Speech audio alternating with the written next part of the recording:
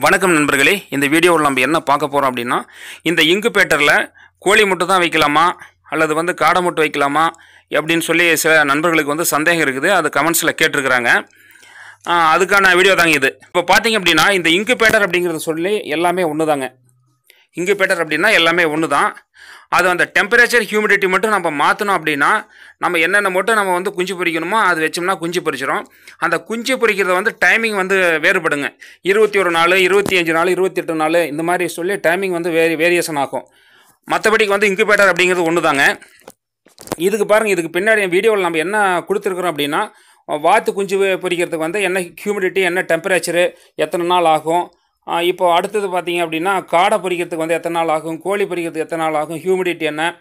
Temperature என்ன? அப்படிங்கிறத பற்றி கொடுத்துருக்குறேங்க. இது வந்து தெளிவாக பாருங்கள் அந்த மாதிரி நீங்கள் ஒரே இங்குபேட்டர் தாங்க. இதே இங்குபேட்டர் வந்து நீங்கள் எல்லாத்துக்குமே நீங்கள் பயன்படுத்திக்கலாம். நீங்கள் அந்த டெம்பரேச்சர் மட்டும் நீங்கள் செட் பண்ணிங்கன்னா போதும்.